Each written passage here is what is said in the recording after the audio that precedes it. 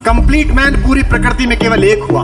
जिसने बचपन जिया तो ऐसा कि आज भी लाड़ में भारत की हर माँ अपने बेटे को कान्हा कहती है। जिसने जवानी जी तो ऐसी के इश्क में पागल लड़के को कॉलोनी में लोग कहते बड़ा कन्हैया बना फिरता है। जिसने युद्ध रचाया तो ऐसा कि पाँच निर्वासित बच्चों को विश्व की सबसे बड़ी अक्षोणी सेना के सामने विजय दिलाई।